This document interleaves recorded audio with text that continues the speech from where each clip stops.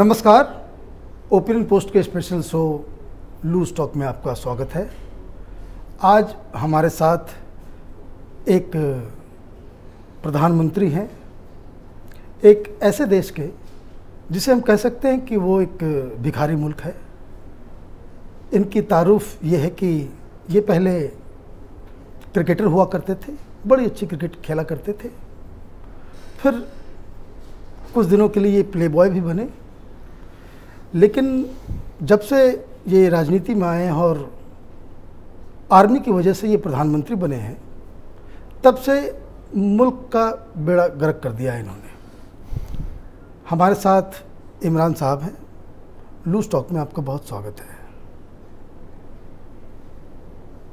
अल्लाह असला बरूद। पहले ये बताइए आपको ये असला बारूद से इतना मोहब्बत क्यों है? देखिए जी आपके यहाँ कहा जाता है नमस्ते खुशामदीद वटवर वटवर जो भी आप लोग कहते हैं। हमारे यहाँ पे ये चीज़ बहुत ज़्यादा है, असला और बरूद। हम पहले असला वलेकुम करते थे, हम- हमें भी अच्छा लगता था, लेकिन जब से हमें अब लगने लगा कि हमारी ज़िंदगी सिर्फ़ एक ही चीज़ पे टिकी हुई है, या तो असले पे, या बरूद पे। तो सबको फिर मैं उसी तरीके से बोलता हूँ, असला बरूद। आप ये बताइए कि आप बॉर्डर पे करने क्या गए थे? प्रधानमंत्री का काम तो ऑफ़िस में होता है। जहाँ सेना को जाना होता है वहाँ आप क्यों पहुँच गए? आप जवाब देना ज़रूरी है। नहीं ज़रूरी इसलिए भी है कि आपके लोग तो भूखे मर रहे हैं। दूध की कीमत जो है वो पेट्रोल से ज़्यादा हो गई है आपके मुल्क में। आपको इकॉनमी संभालनी चाहिए, फॉरेन पॉलिसी संभालनी चाहिए। आप वहाँ पे असला बारूद की काउंटिंग करने चले गए। देखें सर, मैं आपको बताऊँ, बहुत एक वाजिब सी बात मैं आपको बताने लगा हूँ। देखिए, क्या होता है कि भाई, मैं वहाँ इसलिए गया था कि मुझे अब कोई ऐसे हालात लग नहीं रहे कि जिसके अंदर अब हम बख्शे जाने कि भाई, वहाँ पे जो बंदा खड़ा हुआ है, बंदूक लेकर के, ठीक है, वो किस तरीके का बंदा है? हमारे जो बजवा साहब हैं, जिन्होंने बजवा बजवा के पूरे मुल्क का बजावड़ा कर दिया है, उन्होंने बंदे ऐसे रखे हुए तोंदों वाले, यार। मतलब कि आप देखो, वो ठीक से गन यूँ नहीं कर सकता उसकी गन यूँ रहेगी, क्योंकि तोंद पड़ जाती है। मेरा ये मसला था कि मैं जाके देखूँ कि भाई किस किस तरीके के लोग हैं जो भर्ती किए इन लोगों ने, कि भाई अगर बम या बू करके आया ना तो उसके जलजले से ये लोग मर जाएँगे। आप कैसे पॉलिटिशियन हैं? हर बात में आप ये बॉम्ब और असला और बारूद करते रहते हैं। सर, देखिए, हमारे यहाँ आपके यहाँ जो एक इंडस्ट्री लगती है, वो उस तरीके की लगती है जो आपके यहाँ चीज़ें बनती हैं, जो आपके यहाँ इस्तेमाल होती हैं। अब हमारे यहाँ देखिए, देसी, सब कुछ देसी बनता है। देसी कट्टा, देसी हैंड ग्रेनेड, देसी पख्तून, देसी बम, ये सब चीज़ें जब बन रही हैं हमारे मुल्क में, उनका यूज़ भी तो कहीं होना है ना। तो मैं इसी वजह से बॉर्डर पे गया था कि देखूँ भाई जो हमने अपनी इंडस्ट्रियाँ लगा रखी हैं वो किस वजह से उनका यूज़ कब होना है? तो आपको डर नहीं लगा कि कहीं अभिनंदन आ जाए? क्या बोला आपने? मैंने कहा कि आपको कभी डर नहीं लगा कि उधर से आप बॉर्डर पे जा रहे हो? कहीं अभिनंदन उधर से आ गया तो क्या होगा? हंस रहा हूँ लेकिन डरा हुआ हूँ। आप देखें कि भाई एक बच्चा यूँ करके आता है पूपा करता है और चला जाता है। फिर आता है, अपने आप गिर पड़ता है। उसको ये लगता है कि वो इंडिया में इंडिया में ही गिरा है। लेकिन वो गिरता पाकिस्तान में। लेकिन आपके जो बंदे हैं, उनकी तरफ़ से जो आपके जो वज़ीर अल्लाह हैं, हमारी इतनी हिम्मत नहीं है कि हम उस बंदे को वापस ना करें। अब आपने पूछा कि अगर वो आ गया तो क्या होगा? नेक्स्ट क्वेश्चन खैर। नेक्स्ट आप बॉर्डर के बाद पीओके में आपने भाषण दिया। आपने वहाँ एक शख्स के बारे में ज़िक्र किया। उनका नाम है गोलवर्कर। कौन थे ये गोलवर्कर? मैंने बोला। हाँ आपने ही बोला है। टेप में चलवा सकता हूँ। देखिए मैं आपको बताना चाहूँगा कि आज का जितने स्ट्रेस में मैं जी रहा हूँ ना पता नहीं कौन कौन सी गोलियाँ कौन कौन सी चीज़ें मैं खा लेता हूँ। और उसके बाद मैंने जाने क्या क्या बोलता मैंने आपने बोला पीओ के पे मैंने वहाँ पे जाके बोल दिया। देखो, मैं आपको इसका एग्ज़ाम्पल दे देता हूँ। आपके यहाँ पे इस पार्टी के बंदे बोल रहे थे, भाई सबूत लाओ सबूत लाओ। सब बात ढक गई थी, वो अपना काम कर रहे थे। मैंने बॉर्डर पे जाके बोल दिया कि, भाई आपके यहाँ से बालाकोट के बाद जो पंगा हुआ है ना हमारे यहाँ वो जो है बड़ा गदर वाला हुआ है। और वहाँ पे लोग मरे, हमारे सैनिक मरे आपकी जबान में। तो इसका अंदाज़ा आप लगा सकते हैं कि मैं कितना ज़्यादा डरा हुआ हूँ क्या क्या चीज़ें मैं खा रहा हूँ क्या क्या दवाइयाँ मैं खा रहा हूँ, और उनका जो रिएक्शन हो रहा है, उसकी वजह से मेरे को जो है बॉर्डर पे जाके ये सब चीज़ें बोलनी पड़ रही हैं। मेरे को कोई कहता है कि आपको क्या है? मतलब आपको ज़िंदगी में प्रॉब्लम क्या है? मैंने कहा मेरे को सोते उठते जागते बैठते ना सिर्फ़ बहत्तर उम्रें दिख रही हैं तो कहने का मतलब ये है कि आपने ऐसे ही किसी शख्स का नाम आपने ले लिया। यहाँ मतलब निकल गया होगा। मुझे एक चीज़ बताइए कि आपकी जो इकॉनमी है आप पूरी दुनिया में कटोरे लेकर के घूम रहे हैं और कोई एक पैसे भी नहीं डाल रहा। क्या वजह है इसकी?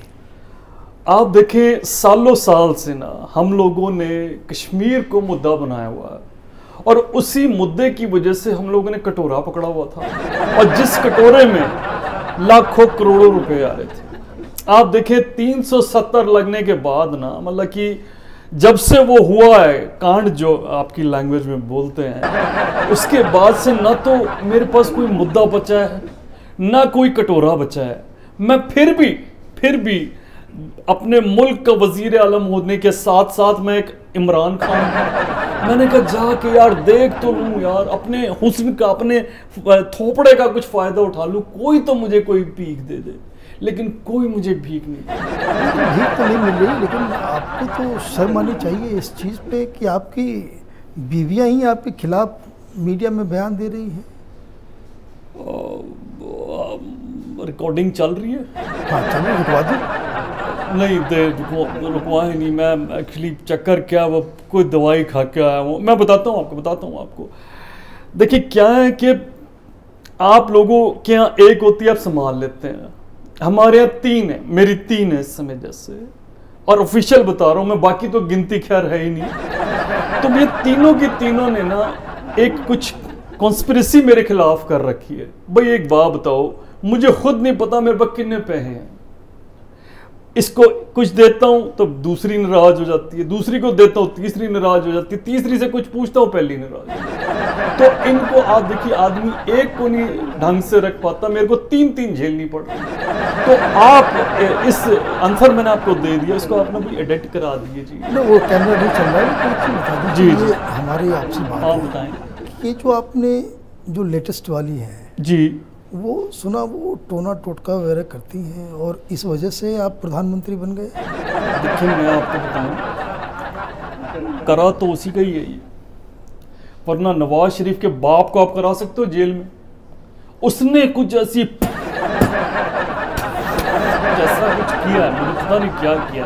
I don't know exactly what she has done but अच्छा रहा अच्छा रहा। उसने जैसे किया है वो अंदर हुआ है मिलिट्री वाले बाजवा ने मुझे पुश किया है और मैं प्रधानमंत्री एक घंटे के अंदर अंदर सारा काम हो गया जी। मैंने कहा, जब ऐसी वाइफ है, इसी वजह से मैं बार बार बॉर्डर पे भी जाता रहता हूँ कि कहीं ये ना हो कि वो कुछ और ऐसा कुछ कर दे। और इंडिया जो है ना, मैं उसका भी वज़ीर आलम बन जाऊँ। यार, निकल गई बात मुँह से। शिट यार। कि मोदी साहब से डर लगता है? किसको डर किसको डर नहीं, नहीं लगता आप ये बताएँ। तो फिर आप तो भाषण देते कि वो मोदी मैं ईट का जवाब पत्थर से दूँगा। देखिए जी बोलने को तो आदमी बहुत सारी चीज़ें बोलता है। बोलने को तो मैंने ये भी बोला कि भाई हमें एक कदम आप बढ़ाओगे दो कदम हम बढ़ाएँगे। मैंने कहा था। मैंने कहा कि भाई मैंने अपनी ज़िंदगी में जितनी बॉलिंग की है आप मेरी तरफ़ कुछ करोगे तो मैं बॉलिंग करूँगा। आप मेरी तरफ़ कुछ करोगे तो मैं बैटिंग करूँगा। मैंने कहा है लेकिन उसके पीछे जो चीज़ें हैं आप देखें मैंने आपके चैनल पे एक्सक्लूसिवली बता दिया कि अगर बॉलिंग होगी तो कैसी होगी अगर बैटिंग होगी तो, तो कैसी होगी। तो आप जो कह रहे हैं उसका मतलब कुछ और है लोग अन्यथा आपको जो है गलत इल्ज़ाम आपके ऊपर लग रहे हैं। जी सही कह रहे हैं मैं एक बात और आपसे पूछना चाहता जी हूँ। पूछें।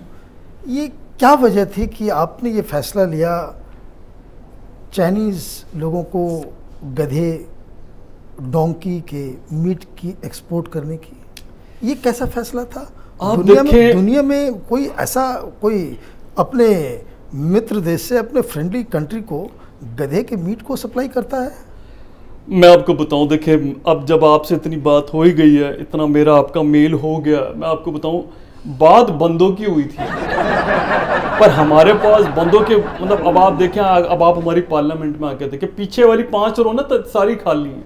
मैंने उन्हीं को भेज दिया। अब गधे अगर भरे हुए हैं तो मैं इसमें क्या कर सकता हूँ? उनको काट करके जो उन्होंने खाया तो बोले, गधे क्यों बेच दिए? मैंने कहा, बेचे तो बंदे थे अब आप देखेंगे, इस इस तरीके की रिपोर्टें मेरे पास आ रही हमारे यहाँ पार्लियामेंटों में तो गधे पल रहे। हैं पार्लियामेंट पे आपने बात कही तो मुझे एक वाक्य आया दो दिन पहले। आपको वहाँ गो बैक गो बैक के नारे लगे। आप तो इतने पॉपुलर इंसान हैं पा, पाकिस्तान के अंदर। फिर भी आपको जो है गो बैक कहा जा रहा है। लेकिन देखें आप मैं कह रहा हूँ मैं डरानी जी। मैंने कहा कोई बात नहीं तू गो बैक गो बैक करना कोई बात नहीं कर ले। फेफड़े फुला ले अपने। जब तू थक जाएँगे ना तुम सारे के सारे फिर मैंने बॉल फड़नी है और उसके बाद। क्योंकि मैं एक प्लेयर हूँ और मुझे पता है कि कम बैक कैसे होती है। लेकिन आपकी टीम का एक खिलाड़ी है वो फवाद चौधरी। वो कैसे बदतमीजी से बात करता आपने उसे कभी कोई एक्शन इसके खिलाफ क्यों नहीं लिया आपने? मैं आपको बताता हूँ डॉक्टर साहब कि देखें लाए तो हम ना कुत्ता थे। जब आप उस कुत्ते को पालते हैं और वो इधर उधर मुँह मार के पै पै करके कोई गलत गोश्त खा लेना और वो बड़ा होते होते सांड हो जाए। और सांड नहीं हो जाए मतलब उसका मुँह देखो आप। ऐसा लगता है किसी ने पपीते पे घूसा मारा। इस तरीके की बयानबाजियाँ कर रहे कह रहे चंद्रयान चले गए यहाँ चले गए। अरे यार तू चुप तो कर जा यहाँ वैसे लेंटर लगे हुए तू और तूने और लगा दिया। अब आप मुझे बताएँ कि अगर कोई गलतियाँ हो जाती हैं तो आदमी क्या करेगा उसके अंदर? लेकिन आपने तो उसे साइंस और टेक्नोलॉजी का मिनिस्टर बना रखा है और चंद्रयान के ऊपर वो उल्टी सीधी बातें कर रहा था। मैंने आपको वही बोला ना कि देखिए क्या है कि गलतियाँ हो जाती हैं। जिनकी वो गलती है, वो भी बेकसूर है, मैं बता रहा हूँ आपको। ऐसी ऐसी चीज़ें बोल रहा है। मैंने आपको जैसे क्या बोला, जब किसी मुल्क के सारे बंदों ने मिलकर के सिर्फ़ एक ही उनका सपना हो जाता है ना, उनका उनका ख्वाब एक ही हो जाता है। आजकल हम सभी को, जितने हम पार्लियामेंट में बैठते हैं ना, सबको मेल बहत्तर उरे दिख रही हैं। अब बस जाया होने वाली बात है और कहीं से भी कुछ आ जाएगा आप लोगों की तरफ़ से जिस तरीके की हम लोग बयानबाजियाँ कर रहे हैं। और हम लोग इन में सोएँगे। ये चक्कर है इस वजह से लोगों के दिमाग है खराब हो पड़े मैं बता रहा हूँ।